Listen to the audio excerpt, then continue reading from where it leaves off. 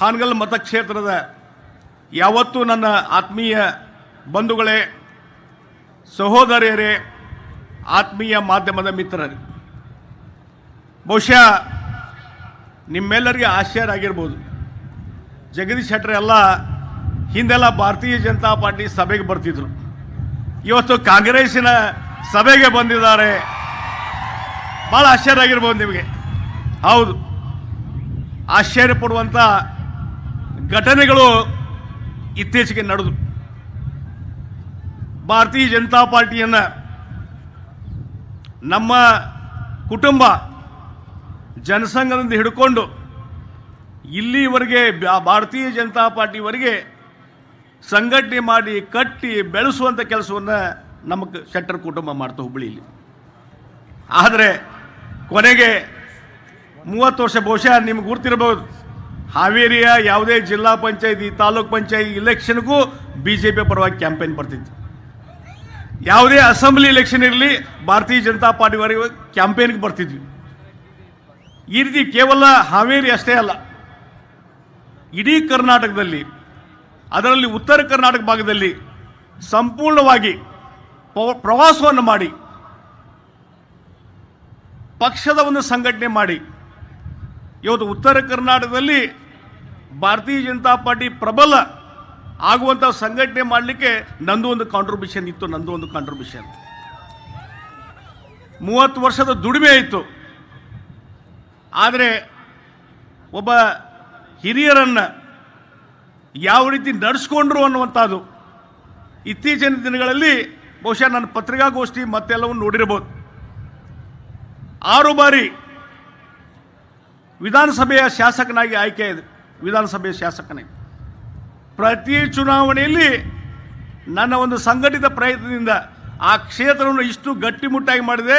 ಪ್ರತಿ ಚುನಾವಣೆಯಲ್ಲಿ ಇಪ್ಪತ್ತೈದು ಸಾವಿರ ಲೀಡ್ಗಳಿಂದ ಗೆಲ್ತಿದ್ದೆ, ಇಪ್ಪತ್ತೈದು ಸಾವಿರ ಲೀಡಿಂದ ಅಂಥ ಕ್ಷೇತ್ರದಲ್ಲಿ ಏಳನೇ ಬಾರಿ ಚುನಾವಣೆಗೆ ನಿಂತಂಥ ಸಂದರ್ಭದಲ್ಲಿ, ತಯಾರಿ ಮಾಡಿದಂಥ ಸಂದರ್ಭದಲ್ಲಿ ಅಲ್ಲಿ ನಿಮಗೆ ಟಿಕೆಟ ಕೊಡೋದಲ್ಲ ಹೇಳಿ ಬಹಳ ಒಬ್ಬ ಚಿಕ್ಕ ಬಾಲಕನ ಹೇಳುವಂತ ರೀತಿಯಲ್ಲಿ ಪೋರ್ ಮಾಡಿ ಹೇಳ್ತಾರಂತಂದ್ರೆ ಇದಕ್ಕಿಂತ ಅಪಮಾನ ಯಾವುದಿದೆ ರೀ ಇದಕ್ಕಿಂತ ಅಪಮಾನ ಯಾವುದಿದೆ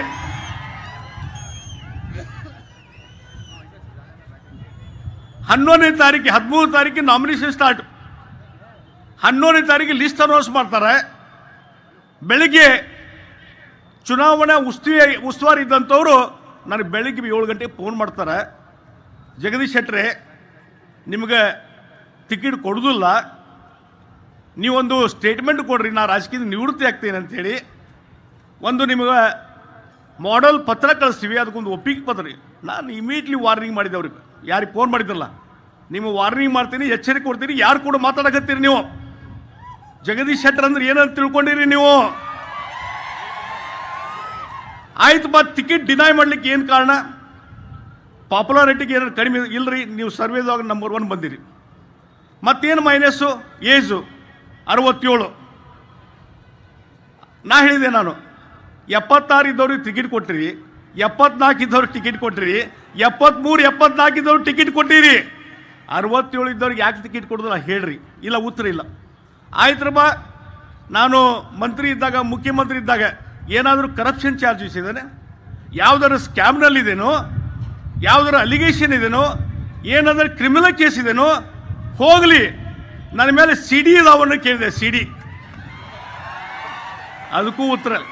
ಯಾವುದೂ ಇಲ್ಲ ಕ್ಲೀನ್ ನೋಡ್ರಿ, ನನ್ನ ಮೂವತ್ತು ವರ್ಷದ ರಾಜಕಾರಣದಲ್ಲಿ ಯಾವುದೇ ಒಂದು ಕಪ್ಪು ಚುಕ್ಕಿ ಇಲ್ಲದೇ ಕೆಲಸ ಮಾಡಿದಂಥ ವ್ಯಕ್ತಿ, ಕೆಲಸ ಮಾಡಿದಂಥ ವ್ಯಕ್ತಿ. ಹೀಗಾಗಿ, ಆಮೇಲೆ ರಾಷ್ಟ್ರೀಯ ಅಧ್ಯಕ್ಷರು ಫೋನ್ ಮಾಡಿದ್ರು. ಅವ್ರಿಗೆ ಇದೇ ಹೇಳಿದೆ. ಅವ್ರದ್ದು ಉತ್ತರ ಇಲ್ಲ. ಯಾವ ಕಾರಣ? ನಾ ಒಂದೇ ಒಂದು ಹೇಳ್ತೀನಿ. ನನಗೆ ಯಾಕೆ ಟಿಕೆಟ್ ಕೊಡೋದಿಲ್ಲ ಅನ್ನುವಂಥದ್ದು ಕಾರಣ ಹೇಳ್ಬಿಡ್ರಿ. ನಾ ಇವತ್ತು ರಾಜಕೀಯ ನಿವೃತ್ತಿ ಆಗ್ತೀನಿ ಅಂತಂದೆ. ಉತ್ತರ ಇಲ್ಲ, ಕಾರಣ ಇಲ್ಲ, ಬೇಜಾರಾಯಿತು.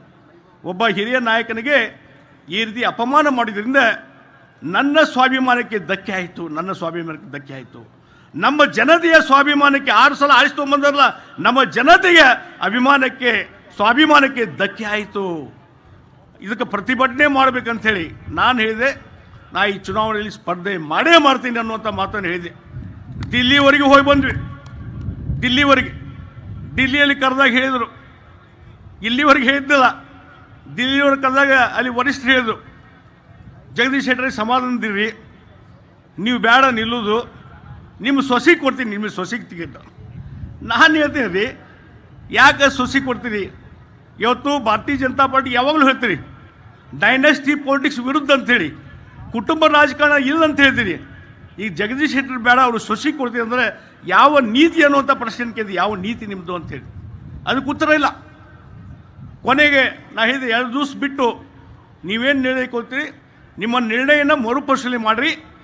ನಾನು ಮಾತ್ರ ಇಲೆಕ್ಷನ್ ನಿಲ್ತೇನೆ ಅಂಥೇಳಿ ಎರಡು ದಿವಸ ಆದರೂ ಮತ್ತೆ ಬಂದರು ಉಸ್ತುವಾರಿಗಳು, ಮುಖ್ಯಮಂತ್ರಿಗಳು ಯೂನಿಯನ್ ಮಿನಿಸ್ಟ್ರು ಎಲ್ಲರೂ ಬಂದರು ಮನೆಗೆ.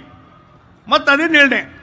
ಇಲ್ಲ, ನಿಮ್ಮ ಕುಟುಂಬದ ಸದಸ್ಯ ನಿಲ್ಲಿಸ್ಬಿಡ್ರಿ ಅಂತೇಳಿ ನಾನು ಒಂದು ಕೇಳ್ತೀನಿ ಪಕ್ಷಕ್ಕೆ ಒಂದು ನೀತಿ ಇರಬೇಕು. ಎಪ್ಪತ್ತೈದು ವರ್ಷ ಅಂದ್ರೆ ಎಪ್ಪತ್ತೈದು ವರ್ಷ ನಿಲ್ಲ ಕೊಡಬಾರ್ದು. ಕುಟುಂಬ ರಾಜಕಾರಣ ಇಲ್ಲಂದ್ರೆ ಕುಟುಂಬದ ರಾಜಕಾರಣ, ಕುಟುಂಬದವ್ರು ಯಾರೂ ನಿಲ್ಲಿಸಲೇಬಾರ್ದು. ಆದ್ರೆ ಇವತ್ತು ಟಿಕೆಟ್ ಕೊಟ್ಟದ್ದು ನೋಡಿದರೆ ಎಪ್ಪತ್ತೈದು ದಾಟೋರು ಅದಾರ.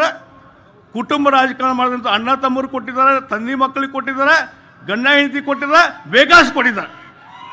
ಇದೆಂತ ಇದು- ಇದು ಪಾಲಿಸಿ ಅಂತ ನಾನು ಇವತ್ತು ಕೇಳ್ತಾ ಇದ್ದೀನಿ. ಆ ಹಿನ್ನೆಲೆಯಲ್ಲಿ ಇವತ್ತು ಒಂದು ಏನೋ ಒಂದು ತತ್ವ ಇರಬೇಕು.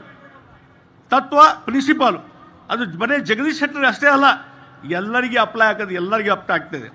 ಇವತ್ತು ಭಾಳ ಜನ ಹೇಳಿದರು ನನ್ನ ಟೀಕಾ ಮಾಡಿದರು, ಇಲ್ಲ, ಜಗದೀಶ್ ಶೆಟ್ಟರ್ಗೆ ಎಲ್ಲ ಸ್ಥಾನಮಾನ ಕೊಟ್ಟಿದ್ದೇವೆ.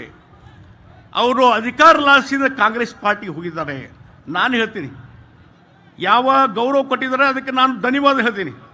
ಆದರೆ, ಅದಕ್ಕೆ ಪ್ರತಿಯಾಗಿ, ಇವತ್ತು ಭಾರತೀಯ ಜನತಾ ಪಾರ್ಟಿ ಕಟ್ಟಿ ಬೆಳೆಸುವಂಥ ಕೆಲಸ ನಾನು ಮಾಡಿದೆ ಕಟ್ಟಿ ಬೆಳೆಸುವಂಥ ಕೆಲಸ ಮಾಡಿದೆ ಅದಕ್ಕೆ ನಾನು ಹೇಳ್ತೀನಿ ಅಧಿಕಾರ ಲಾಲಿಸಿದ್ರೆ ಬೊಮ್ಮಾಯಿರೇನು ಮುಖ್ಯಮಂತ್ರಿ ಆದ್ರಲ್ಲ? ಮರ್ದೂಸನೇ ನಾ ಸ್ಟೇಟ್ಮೆಂಟ್ ಕೊಟ್ಟೆ. ನನ್ನ ಕ್ಯಾಬಿನೆಟ್ದವರಲ್ಲಿ ಕ್ಯಾಬಿನೆಟ್ ಮಿನಿಸ್ಟರ್ ಇದ್ರು. ಅವರ ಕ್ಯಾಬಿನೆಟ್ನಲ್ಲಿ ನಾನು ಮಂತ್ರಿ ಆಗುವುದು ಅಂತ ಒಂದು ಸ್ಟೇಟ್ಮೆಂಟ್ ಕೊಟ್ಟೆ, ಸ್ಟೇಟ್ಮೆಂಟು. ಎರಡು ವರ್ಷ ನಾನು ಅಧಿಕಾರ ಲಾಲಿಸಿ ಇದ್ದರೆ ಬೊಮ್ಮಾಯಿರ ಸರ್ಕಾರದಲ್ಲಿ ನಾನು ಮಿನಿಸ್ಟರ್ ಹಾಕಿದ್ದೆ. ಅಧಿಕಾರ ಲಾಲಿಸಿಲ್ಲ, ನಾನು ಸ್ವಾಭಿಮಾನಕ್ಕೆ ಮಹತ್ವ ಕೊಡುವಂಥ ವ್ಯಕ್ತಿ. ಎರಡು ವರ್ಷ ಯಾವುದೇ ಮಂತ್ರಿ ಏನಿಲ್ಲ, ಒಬ್ಬ ಸಾದಾ ಶಾಸಕನಾಗಿ ಕೆಲಸ ಮಾಡಿದ್ದೇನೆ, ಶಾಸಕನಾಗಿ. ಇದು ಜಗದೀಶ್ ಶೆಟ್ಟರ್ ಅನ್ನುವಂಥ ಮಾತನ್ನು ಹೇಳಿದೆ.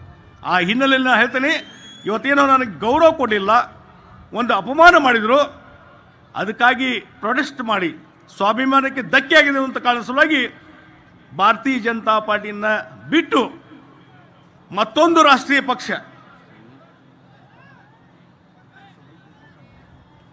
ಮತ್ತೊಂದು ರಾಷ್ಟ್ರೀಯ ಪಕ್ಷ ಅಖಿಲ ಭಾರತ ಕಾಂಗ್ರೆಸ್ ಪಕ್ಷಕ್ಕೆ ನಾನು ಅಧಿಕೃತವಾಗಿ ಸೇರ್ಪಡೆಯಾಗಿದ್ದೇನೆ ಅಧಿಕೃತ.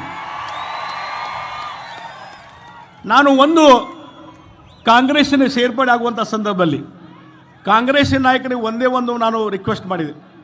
ನೋಡ್ರಿ ನಾನು ಭಾರತೀಯ ಜನತಾ ಪಾರ್ಟಿ ಹಿರಿಯರನ್ನು ಮನೆಯಾಗ ತಂದಿತಾ ಇರ್ತಾರಲ್ಲ, ಯಾವ ರೀತಿ ಗೌರವ ಕೊಡದೇ ಇದ್ದಂಥ ಸಂದರ್ಭದಲ್ಲಿ ಅವ್ರಿಗೆ ಬೇಜಾರಾಗ್ತದೆ. ಅದೇ ರೀತಿ ಅವರು ಗೌರವ ಕೊಡಲಿಲ್ಲ.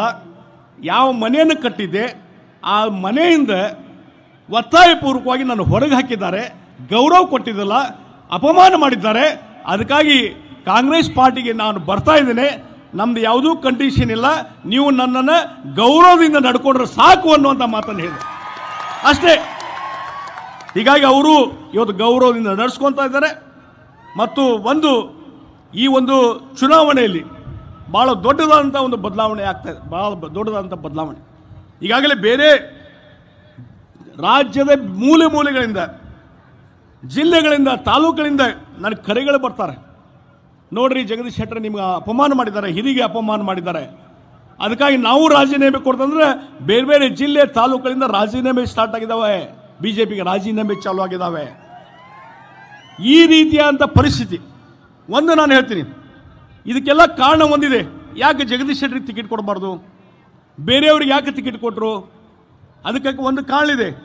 ಇವತ್ತೇನಾದರೂ ನಾನು ಏಳನೇ ಬಾರಿ ಬಿ ಜೆ ಪಿಯಿಂದ ಆರಿಸಿ ಬಂದಿದ್ರೆ ಯಡಿಯೂರಪ್ಪರನ್ನ ರಾಜಕೀಯದಿಂದ ನಿವೃತ್ತಿ ಮಾಡಿಬಿಟ್ಟಾರೆ ಈಗಾಗಲೇ. ಅವ್ರ ಮನೆ ಕಳಿಸಿಬಿಟ್ಟಿದ್ದಾರೆ.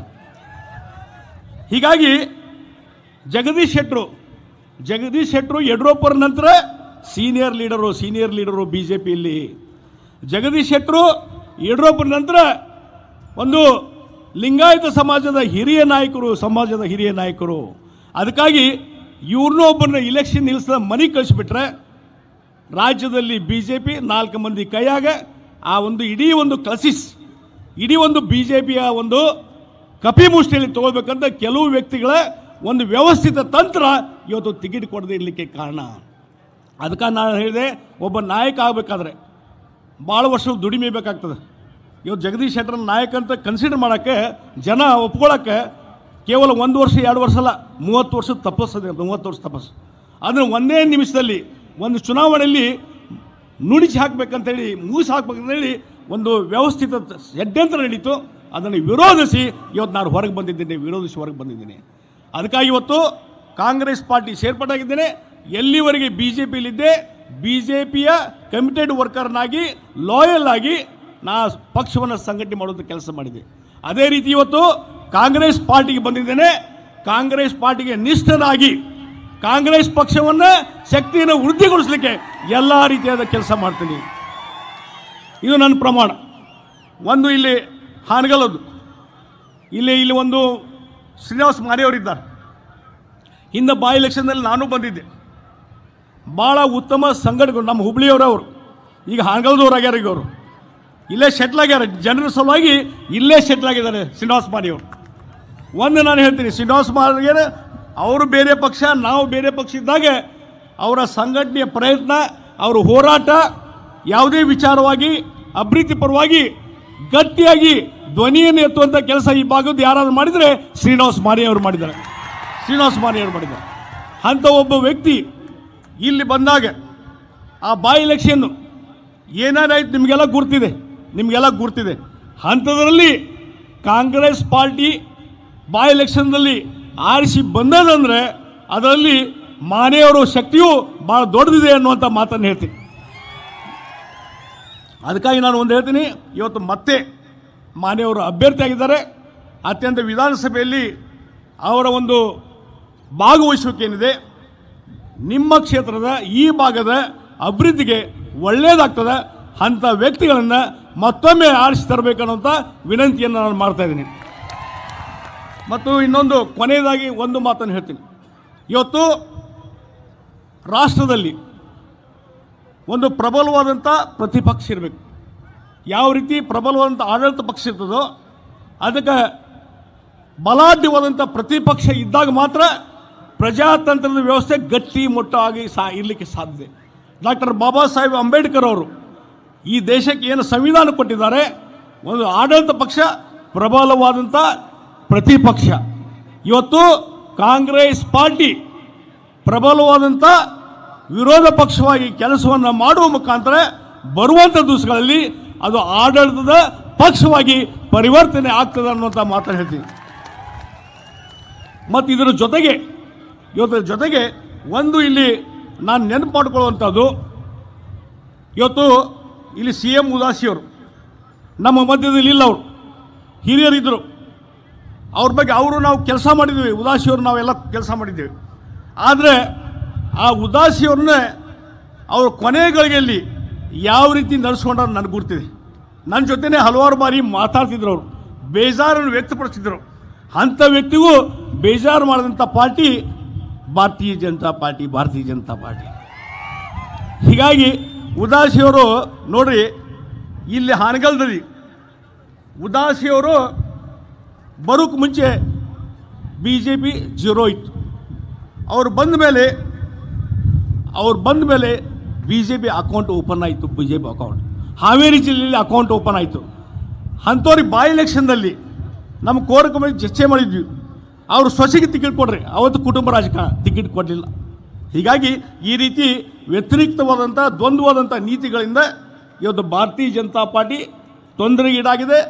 ದಿನನಿತ್ಯ ಅದು ಭಾಳ ಒಂದು ವಿನಾಶ ಕಡೆ ಹೋಗ್ತಾ ಇದೆ ಅನ್ನುವಂಥ ಮಾತಾಡಿದ್ವಿ ಅದಕ್ಕಾಗಿ ಇವತ್ತು ಬರುವಂಥ ದಿವಸಗಳಲ್ಲಿ ಇವತ್ತಿನ ವಾತಾವರಣ ನೋಡಿದರೆ, ರಾಜ್ಯದಲ್ಲಿ ಕಾಂಗ್ರೆಸ್ ಪಾರ್ಟಿ ಸ್ಪಷ್ಟ ಬಹುಮತದೊಂದಿಗೆ ಅಧಿಕಾರಕ್ಕೆ ಬರುವುದು ನಿಶ್ಚಿತ ಅನ್ನುವಂಥ ಮಾತಾಡಿದ್ವಿ ಅದಕ್ಕಾಗಿ ನಿಮ್ಮೆಲ್ಲರ ಒಂದು ಬೆಂಬಲ ಕಾಂಗ್ರೆಸ್ ಪಾರ್ಟಿಗೆ ಇರಲಿ. ಮತ್ತು ನಮ್ಮ ಅಭ್ಯರ್ಥಿಯನ್ನು ಶ್ರೀನಿವಾಸ್ ಮಾನೆಯನ್ನು ಅಧಿಕ ಮತಗಳ ಅಂತರಿಂದ ಗೆಲ್ಲಿಸಿಕೊಡ್ಬೇಕಂತ ವಿನಂತಿಯನ್ನು ಮಾಡಿ ನನ್ನ ನಾಲ್ಕು ಮಾತನ್ನು ಮುಗಿಸ್ತಾ ಇದ್ದೆ ನಮಸ್ಕಾರ, ಜೈ ಹಿಂದ್, ಜೈ ಕರ್ನಾಟಕ.